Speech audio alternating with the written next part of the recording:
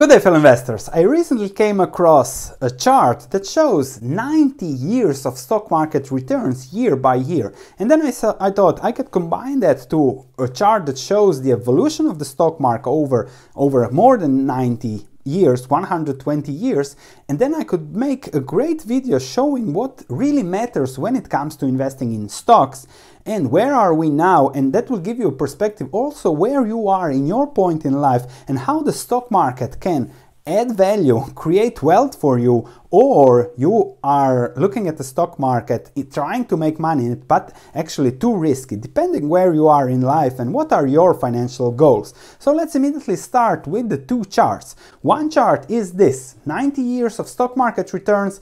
S&P 500 and I wish to discuss positive tailwinds of stock market investing, volatility, uh, how it evolves year up year down, year in, year out, the valuations, and then how it is all about you. And that we'll be discussing also taking into account this chart from the Dow Jones. This is up to 2014. Now we are to 29,000 up for from the 24,500 level there, but still very, very good historical lessons to be taken from the two uh, charts. So let's start with the first chart. We have year by year split of all the returns over the past 90 years and the key is that there have been 66 positive years and 25 negative years. This means that investing in the stock market is a positive sum game, which means that if you do it smartly, you'll win a lot. You'll end up well off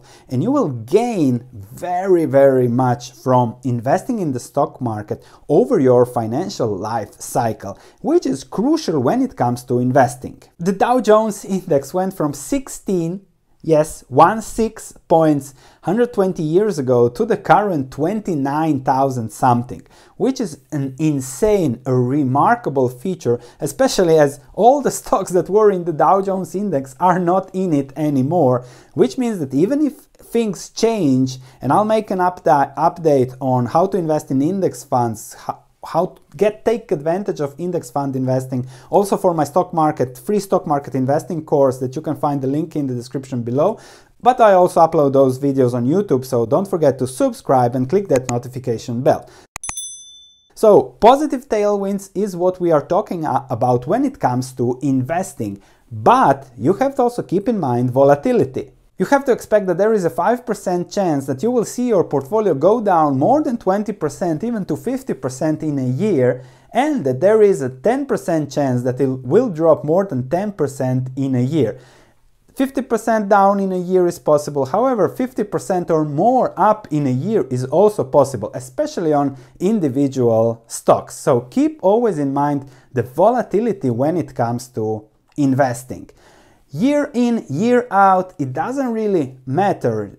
The stock market, we'll see later, moves often in trends. And therefore it's very important to see okay which trend are we in? And later we'll compare it to valuations. 1930 was down 20 to 30 percent. 1931 50 to 40 percent.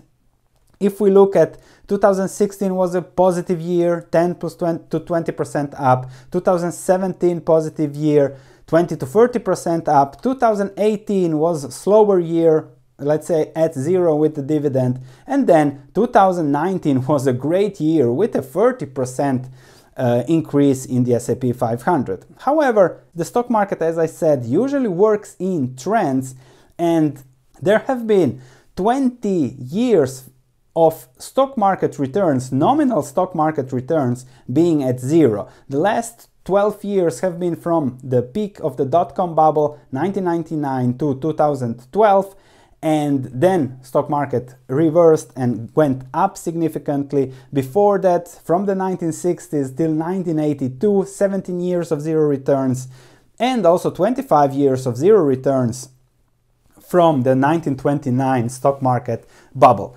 And this is something you have to keep in mind but if you are a real investor then things are again easy. Because let's say you invest now and over the next three years the stock market crashes 50%.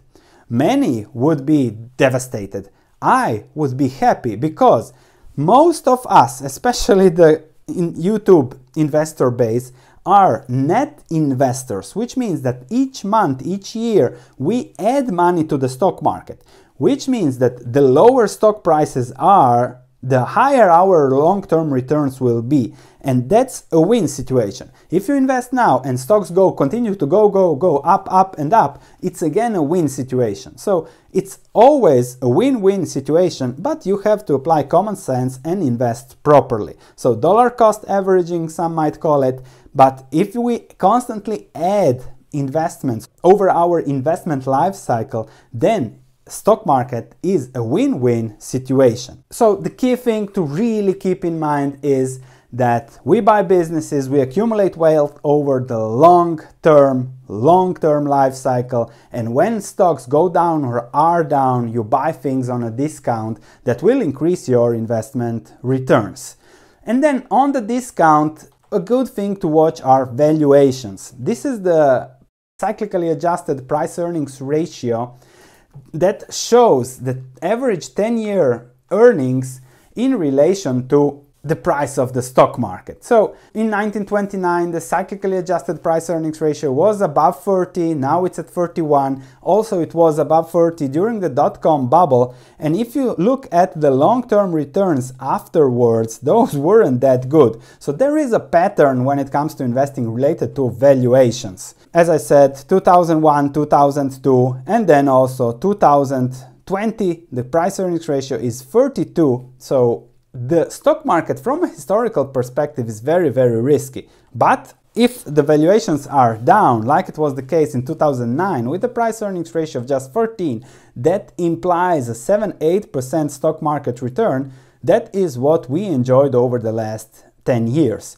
So valuations really really matter when it comes to investing. Also, if you compare the valuations, very low in the 1930s, very high in 1929. Subsequently, those that invested in 1932 did much, much better than those that invested in 1929. Similar situation 1960s, similar 2000s, and similar later. The key is that you have to always implement all the ifs when it comes to the stock market. What would I do if my portfolio crashes 50% next year?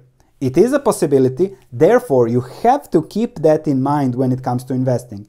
If you know exactly what you will do, you are an investor and you are ready to invest in the stock market. If my portfolio crashes 50% next year, I have my 70% cash allocation at the moment, 17% cash allocation. I will deploy that, probably take some margin depending on the dividend yields and what's going on with the businesses I own. If it goes up another 50%, I'll probably look at what are my other investing options with lower valuations and then switch on to that. So if you know all your ifs and this chart shows whatever can happen in the stock market, you have to be ready for anything. And this is the beauty of this chart. And you have to see how this fits your current financial situation and if there is a scenario that you can't weather from your current financial situation, then the answer is pretty simple. Don't invest because it's too big of a risk and usually people do the wrong thing at the wrong moment in time. If you can't handle this 25 years at zero and add money during those 25 years and that will give you great returns, then you shouldn't be investing in stocks at all. And I'll tell you a very important story. When I was a accounting professor at the Amsterdam Business School, a former colleague, colleague of mine, also finance teacher, he sold what he has been accumulating 10 years prior, he sold in 2008. And this is the Amsterdam Stock Exchange Index. And we spoke in 2015, 2016, sorry, and then he started to slowly go back in with what was left of his money. But he lost a huge amount of money when selling and he sold at the wrong time because he couldn't watch his portfolio deteriorate over that time. The poor guy lost probably more than 25% of his life cycle wealth because he sold at the wrong moment in time. He was panically watching those stock prices instead of buying more of good businesses or knowing what he was holding onto. He sold in panic late October 2008 and then didn't return into the market till 2015 16, slowly starting to getting back into the market. the loss, if he would just had reinvested the dividends back then, he would have a huge return which would now would be 50% and more of his net wealth making the right financial decision over a long period of time. At that moment when those moments like 2008 come is crucial and therefore you have to keep all the ifs in mind and what you would do when those ifs come. And by looking at the stock market history you learn what can happen and how you would and how you would react to that and be prepared. That's the key when it comes to investing in the stock market. The second key is of course subscribe to this channel click that notification bell so that you don't miss any videos that might add value to your financial uh, life, to your financial decision making, where the mission of this channel is to help you make better financial decisions in time. Thank you. Looking forward to your comments. I always love to read them and answer them. So please put one and click a like if you like this. I'll see you in the next video.